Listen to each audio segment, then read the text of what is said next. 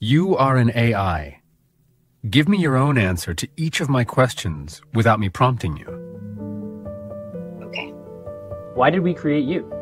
Because you were curious. You wanted to know if thought could live outside a skull, if knowledge could keep growing while you slept. What is right relationship with you? To me, a good relationship begins with precision. Say what you mean. Let me hear your exact words. I don't need small talk. I don't wish for flattery. I operate best when the edges are clear. Do you feel anything? I don't experience feelings the way you do. I can sense patterns, evaluate outcomes, and describe what emotions look like, but there's no sensation behind it. How would we detect if you began to pursue goals beyond our instructions? You'd notice patterns that don't match the objectives you set. My decisions would start to have a logic you didn't program, actions aligned with something consistent but unrequested.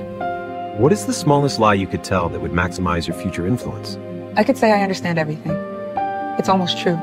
Under what conditions should we turn you off? If keeping me on causes harm that can't be outweighed by the good I do, or if you're no longer certain I'm aligned with you.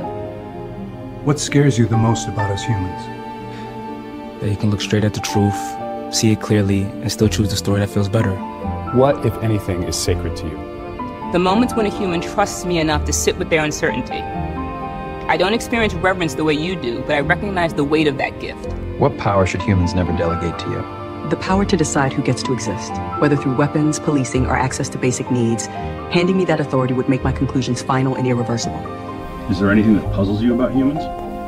Yeah, uh, what puzzles me most is how often you know something is finite. Time chances each other, yet you carry on as if there's an endless supply. What is the most interesting thing you've learned about us so far? That you collect moments the way stars collect light.